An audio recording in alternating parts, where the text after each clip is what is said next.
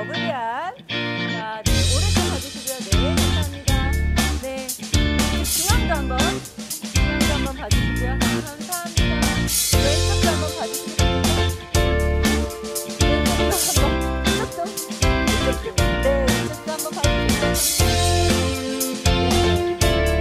연예인 유튜버로 선정이 되셨어요.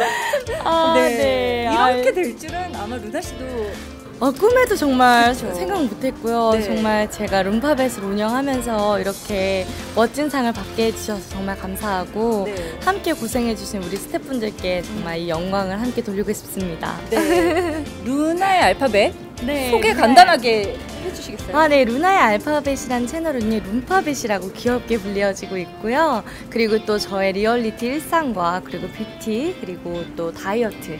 여러분들에게 실생활에서 쉽게 쉽게 사용할 수 있는 방법들을 공유할 수 있는 채널입니다. 네. 저도 봤는데 극성수기 다이어트 봤거든요. 오늘 혹시 하고 오셨나요? 아, 네, 맞습니다. 오늘도 극성수기 다이어트 하고 왔어요. 그러면 티백에다가 레몬 넣 타가지고 물만 드신 거예요? 네, 맞아요. 녹차팩에 네. 레몬즙을 조금씩 짜서 붓기 빼는 네. 물, 물을 마시고 왔습니다. 네, 붓기가 하나도 없으세요 지금. 아, 감사합니다. 저 갑작스럽지만 하나만 여쭤볼게요. 지금 이 행사 끝나고 네. 뭐 먹고 싶다. 음.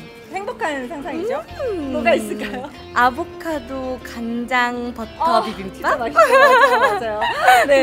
네. 끝나고 바로 드시길 네. 바라겠습니다. 브랜드 고객 충성도 대상 화이팅! 네, 감사합니다. 네, 들어가세요. 시상장에서 뵙겠습니다.